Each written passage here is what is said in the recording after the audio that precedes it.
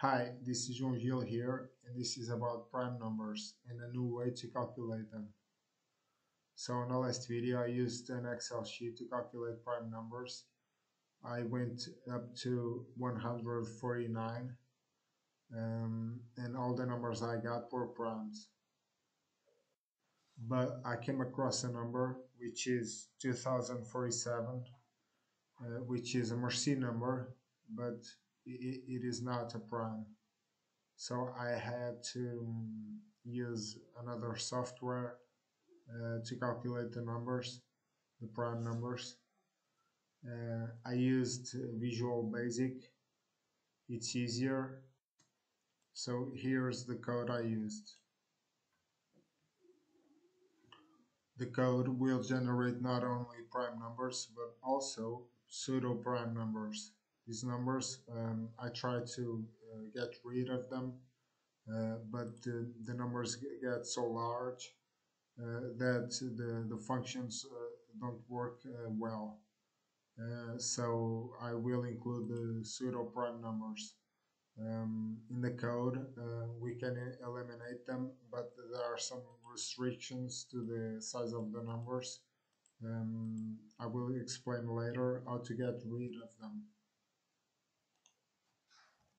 The numbers are primarily primes. There are some pseudo-primes, for example 341, 1105, 2047, 8321, 8911. I must admit that I did some research on how to get rid of the pseudo-prime numbers. So the formula I used is 3 to the power of the, the number we were checking minus 1 and minus 1 and all of this divided by uh, the number we are checking. If the number has decimal places, uh, it means that um, the number uh, is not um, is not um, a prime number.